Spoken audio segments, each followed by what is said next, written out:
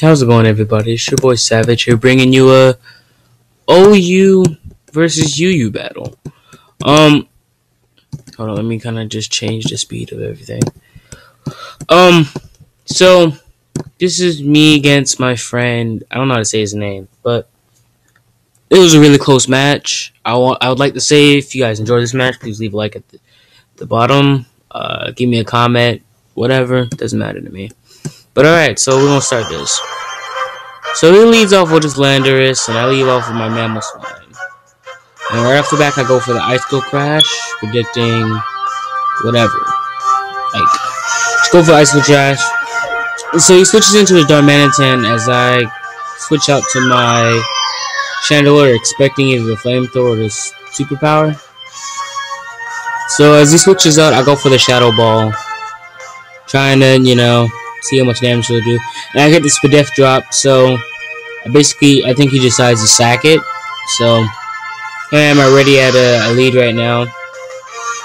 So, switching out, switch out to my Roserade I go for the Outrage and OHKOs me, of course. So I go into my uh, my fish, little fish, and I try to go for the burn, but you know, Scald is, what, 30% burns? I don't get it. So, he kills me now, sadly. And so, I'm bringing my, I think I'm bringing the Hitmonchan in for revenge kill. I go for the Thunder Punch, expecting him to switch out to Talonflame, take the Drain Punch. And it does a clean 63.9%. So I kill him up with the Mach Punch, you know, finish up the job. As he switches back, or as he switches into his Talonflame, as I switch into Porygon. And this is where everything goes downhill. Because it goes to that Brave Bird, and I could have. I, I think I Thunderbolt him in this turn. No, I'll go for the Recover, trying to get as much HP so I can live. As he goes to Brave Bird, does 65%. And I just kill him with a Thunderbolt because, hey, Porygon 2 can do that.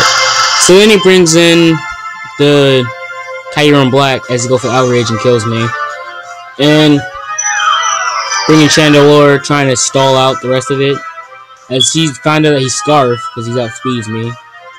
So, I switch into Hitmonchan again. And I just Drain Punch away. You know, taking some HP.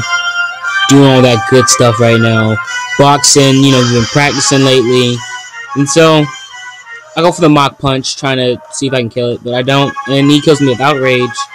And thanks to the fact that I didn't misclick and go for the rocks, just in case he would have O-killed me, I probably would have lived and killed him with Earthquake. So, this was a nice battle by my uh, opponent there, and, uh, you know, tell me if you guys enjoyed the new layout. It's a little laggy, though, but, you know, I'll try.